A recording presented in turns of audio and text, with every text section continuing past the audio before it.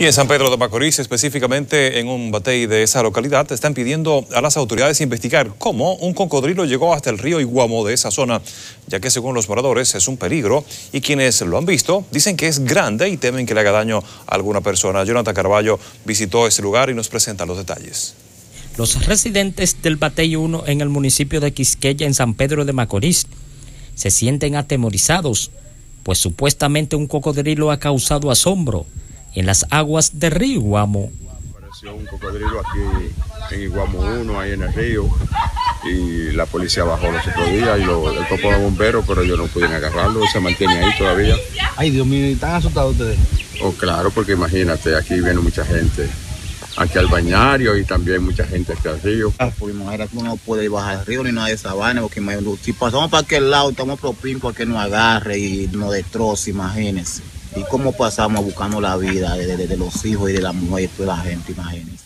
Quienes lo han visto dicen que su tamaño es enorme y hasta se ha comido algunos animales. Mira, delante de nosotros, él agarró un pez que le dicen sábado, medio a medio, y, los, y cuando hizo así le dio para abajo, nada más subió la, la, el, bollón, el bollón de sangre. Pero un cocodrilo de verdad. Ellos se iban a tirar los cuatro, ellos eran unos cuatro. Y iban a tirar. Cuando ellos tiraron el palo para tirar, se vino atrás de ellos así. Que ellos tuvieron que mandarse para atrás. Ay, Dios mío.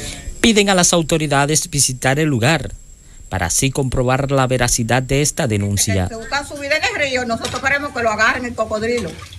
Que vengan las autoridades y el medio ambiente, que qué tiene que ver con eso, que venga a buscar ese cocodrilo, que ande rápido. Y el sábado estaba frente al bañero donde, se baña, donde uno se baña. Y ahí agarró un sábado y lo trozó por mitad, que nosotros lo, lo vimos, lo vimos como Claro, un cocodrilo grande que cualquiera, imagínate. Eh, ¿Se lo comen? ¿Usted cree que es? Claro que sí, es grande, es un pájaro grande. ¿Y la, y, la, ¿Y la comunidad cómo se sienten ustedes? Se siente temor, temorizada. En el municipio de Quisqueya, San Pedro de Macorís, Jonathan Caraballo, CDN.